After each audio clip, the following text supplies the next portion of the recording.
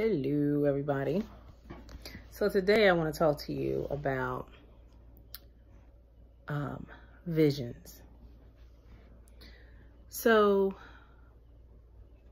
a lot of times when people hear vision, they think, you know, this big, grandiose, like revelation type of vision where, you know, the room just opens up and you're like in a vision, you're inside of it. It's like, you know, I don't know, like virtual reality, that type of thing.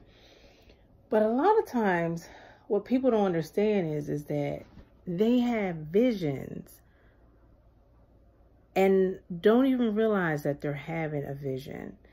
And it happens more often times than what I think people are are aware of.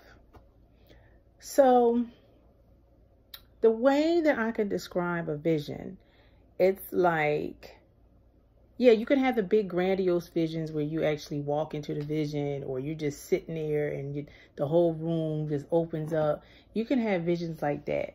But what I find is more common, and everybody's different.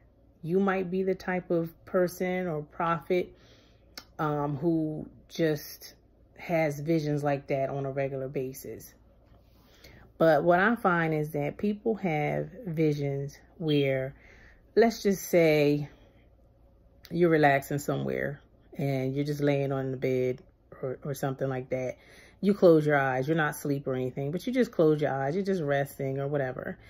And you'll see something like in your mind's eye, as they say, like in your mind's eye, or you'll be thinking something and you can just visualize like say you're thinking of roses or whatever, like you really like the smell of roses and you just close your eyes and you just visual, visualize that rose and you see a picture of it.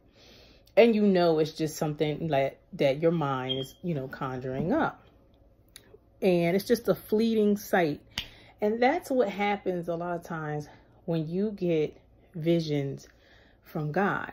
It's just something playing across your the screen of your mind.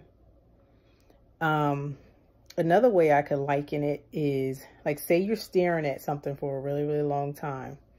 Let's say it's a neon uh, sign, uh, uh, something that maybe a sign that says open and you just stared at it and you closed your eyes.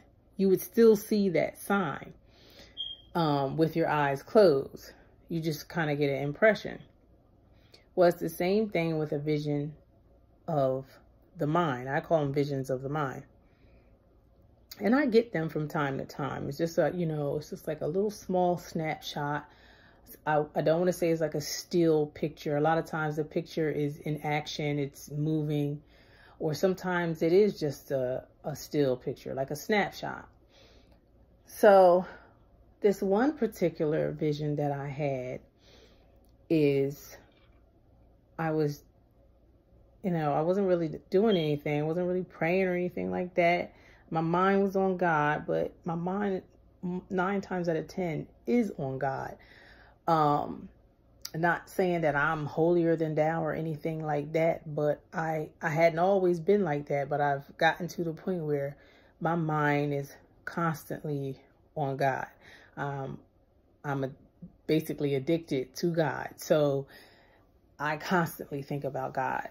But um, I'm talking about like, you know, a focused concentration. Like I went up into the room, um, into my, my prayer room to just pray and receive whatever God wanted to tell me. And so I closed my eyes and what I saw was a plant and that plant was being infested with some type of insect.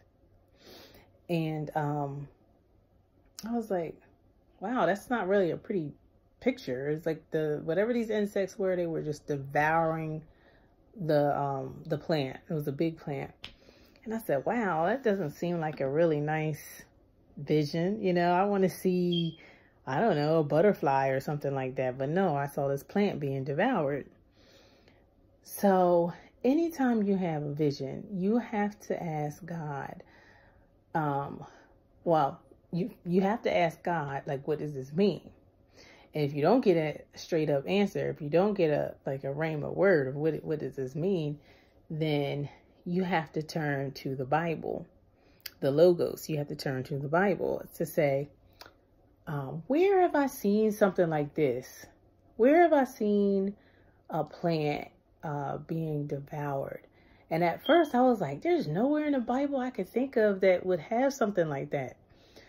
But then, and this is the good thing about having the indwelling of the Holy Spirit, because the Holy Spirit, I believe it was the Holy Spirit that just brought it to my mind. Um, Jonah, in the book of Jonah, there was a part in there where a plant was being um, basically devoured by a worm. And I said, okay, God, what are you trying to tell me? I hope this vision is not telling me anything um, bad about myself. And we got to get to the point where we get over being corrected. Like, God wants to work on our character. We need to get used to that. There's always going to be some things that that needs work. So I, with that knowledge, I said, okay, God, what are you trying to tell me? Whatever it is, you know, I'm listening. I'm willing to obey.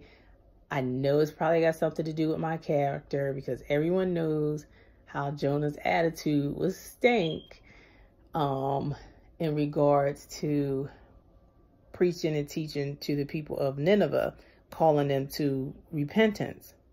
So I'm like, what could God be possibly telling me about this? Because I love to preach and teach. Um, I just love it. So I'm like, I don't know what God is trying to say here. But then when I read it, it opened up to me. So I want to go to Jonah chapter 4. And let's see. It the, the backstory of this and everyone knows about jonah how he he um was basically told by god to go preach to the ninevites and he didn't want to go because he was like i guess in his mind he felt like these people were just wicked. So like why go? Um long story short you know he got he was in the belly of the well for three days and three nights or whatever and then um he repented got got spewed out onto the land and he preached to the people and they ended up repenting. And at the end of all that, Jonah was like mad because he was like, God, I knew you was to be merciful and I knew you was going, these people was to repent and then you was to be like, okay, it's okay. Don't worry about it. And you all good. And I knew you was to do that. And so Jonah was angry about that.